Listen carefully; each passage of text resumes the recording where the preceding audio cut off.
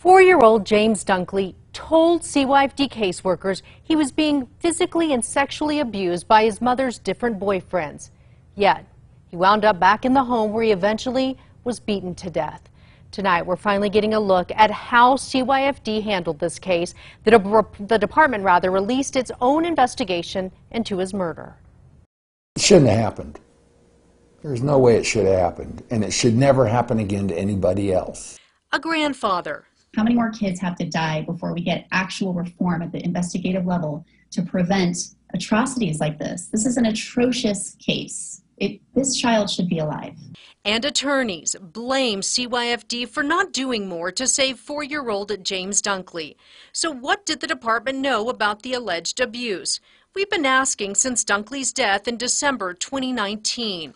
More than two years later, CYFD finally released its own investigation into his death, and it shows they knew a lot. Caseworkers looked into four allegations just months before Dunkley's death. June 2019, James tells caseworkers his mother's boyfriend at the time hits him. CYFD placed the boy with his aunt. But by September, he was back with his mother, and CYFD was back to investigating. This time, police had been called because the boy was found running around outside late at night, and no one was watching him. Dunkley's mother, Krista Cruz, told caseworkers she was moving to live with her friends in these apartments. But the report says Cruz ignored multiple calls from them as they tried to do a home visit.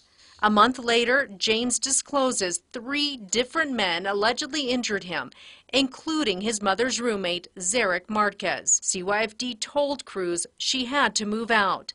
The report states Cruz lied to caseworkers, telling them she was moving to live with family in Arizona. By November, caseworkers would finally get a hold of Cruz, who admitted she was still living in Albuquerque.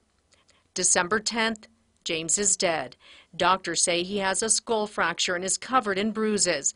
Police arrested Marquez, who wasn't supposed to be taking care of the boy, in the apartments James wasn't supposed to be living in. Tonight, the department only giving a statement saying in part, rather than focusing on blame, the department is engaged in a process that will enable it to examine carefully systemic processes and procedures that require change to minimize risk of child fatalities in New Mexico.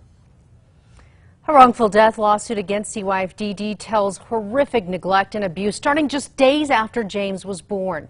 CYFD has not said if any caseworkers were punished in this case. You can read the department's full statement on KRQE.com. Marquez is charged with intentional child abuse resulting in death and recently agreed to a, a plea deal.